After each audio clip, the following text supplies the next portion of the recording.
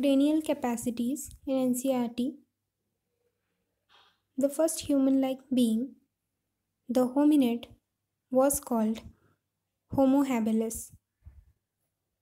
Had brain capacities between 650 to 800 cc.